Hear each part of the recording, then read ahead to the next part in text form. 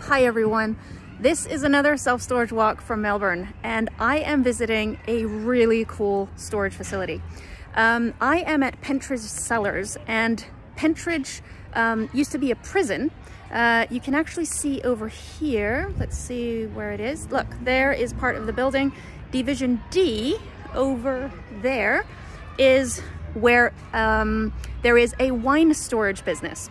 Now, one of the things that is really cool about this area is it hasn't been a prison since uh, 19, 1996. Um, it opened as a prison in 1852.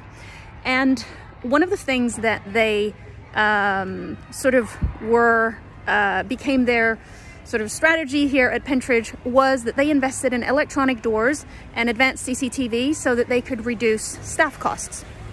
So, um, first of all, visiting this storage facility, the first thing I want to say is how cool is this? You know, as a self-storage nerd, it is almost impossible to not get excited by a wine storage facility that is in a previous prison.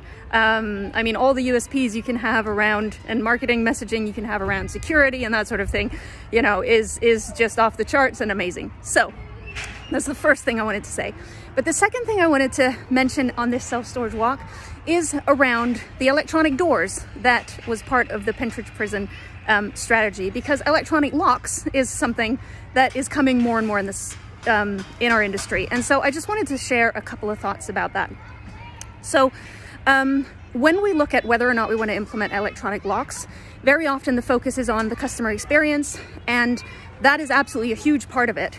But another part that I would really encourage you to reflect on is the data that electronic locks gives you and um, what that data could be used for in terms of managing your revenue, um, you know, being able to pinpoint your marketing and your customer groups and segmentation better. Those are things that also are really interesting to look into when you're evaluating whether electronic locks are worth it. And what I also want to mention is one of the common objections that I run into when I speak to people about electronic locks is the fact that it adds a running cost onto the self-storage unit.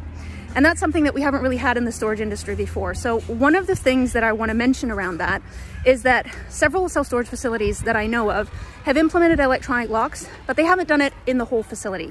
They've taken one section, typically on the ground floor, and on that section, they offer 24-7 um, access together with the electronic lock, and they sell that at a premium. And then the rest of the site is traditional self-storage with a physical padlock, and then they offer access there um, from say six in the morning to 10 at night.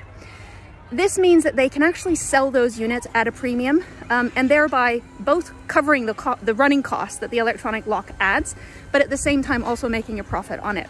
So that's one thing to also take into consideration, um, add to the equation when you're looking at whether electronic locks are really worth it.